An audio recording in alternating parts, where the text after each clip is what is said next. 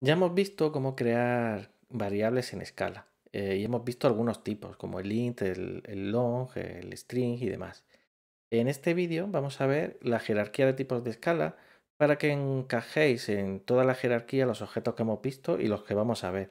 También explicaremos un poquito la inferencia de tipos y un poco el casteo.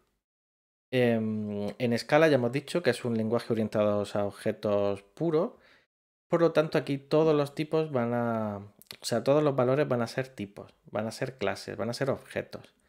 Eh, incluso los valores numéricos, ¿vale? En otros lenguajes los valores numéricos suelen ser tipos primitivos, ¿vale? Que no son objetos. Pero en escala no. Aquí todos son objetos. Incluso las funciones, que como hemos dicho son ciudadanas de primera clase, son como otro tipo de valores. Entonces, todo va a ser objeto en escala. Em, y entonces, dentro de la jerarquía de tipos, tenemos esta estructura, ¿vale?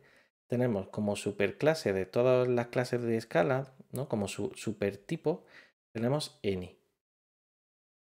Any nos va a añadir una serie de métodos que van a ser comunes a, todas las demás, ¿no? como equal, hashcode y toString. ¿vale? Em, any tiene dos subclases. Tiene anyval, que serían los value types, y tiene anyref. Anyval tiene solamente nueve subclases, ¿vale? Que son los value types son estos que tenemos aquí. Em, mención especial al tipo unit, que sería como la ausencia de valor, ¿vale? Será útil en algunos métodos o funciones que no queramos que devuelvan nada, ¿no? A veces se puede dar el caso y, y de hecho es algo bastante común. Todos estos valores, como veis, no tienen como subclase a null. Entonces, los value types no pueden ser nulos, no son nulables sí que tenemos Nothing como subclase de todos ellos, e incluso como subclase de AnyRef. Entonces todos los elementos de escala tienen una subclase común que es Nothing. En cuanto a los AnyRef, se denomina Referent Types, y aquí tenemos a todos los demás objetos de escala, incluidos los que nos definamos nosotros. Estos objetos o estas clases sí que pueden ser nulos. ¿De acuerdo?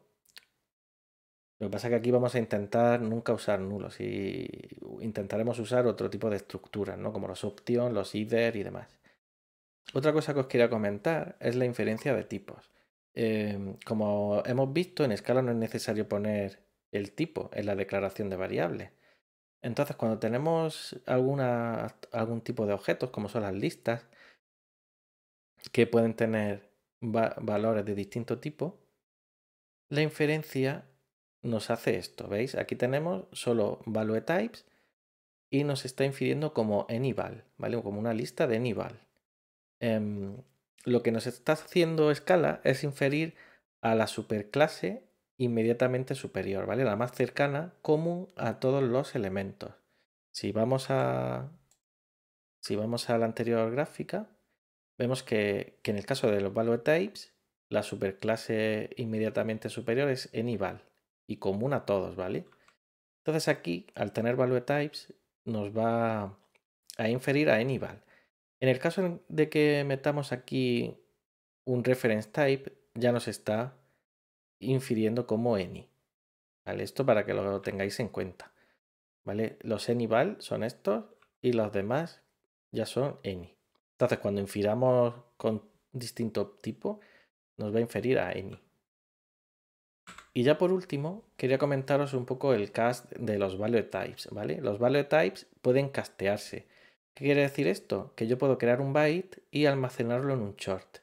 Un short y almacenarlo en un int. Int a su vez también acepta char, ¿vale? Sería como, como en otros lenguajes, ¿vale? El, el, char es casi como, es similar a un int. Luego long, float y double, ¿vale? Pero nunca al revés. Lo podemos ver aquí en un ejemplo, que podemos crearnos un byte, con ese byte crearnos un short y luego con ese short un int y luego así hasta llegar a double, ¿vale? No hay ningún problema. Pero al revés nos va a dar un error. Al revés, si nosotros tenemos un long y lo queremos almacenar en un entero, nos va a dar error, ¿vale? Nos va a decir que no se puede.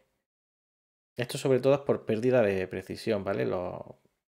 Según vamos yendo a la derecha, los tipos son tienen mayor capacidad, ¿no? Mayor memoria. Entonces, si vamos a la izquierda, seguramente perderíamos información, por lo que no se puede castear de derecha a izquierda.